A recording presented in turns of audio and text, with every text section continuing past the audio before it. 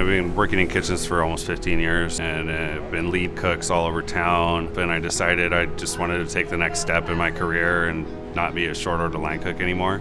So decided to go to school and this is pretty much the best you can do. Being in the food industry, you've got to be challenged. You've got to be able to think on a spot. And students have you do that.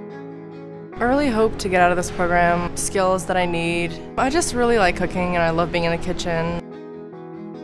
Both of our instructors are highly knowledgeable. I mean, I couldn't really ask for anyone better, not just on the food side of thing, but also the business side.